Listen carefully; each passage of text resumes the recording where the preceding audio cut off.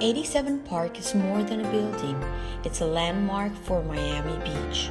The first residential building in the US by master architect Renzo Piano. Home to 70 villas suspended in the clear ocean light, his fluid design brings together architecture and natural landscape. Located on the beach, above a newly invigorated 35 acre park.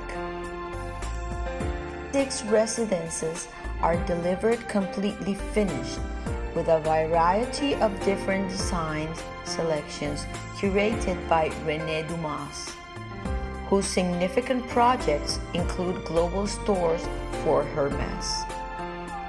87 Park is currently 65% sold with construction full activation.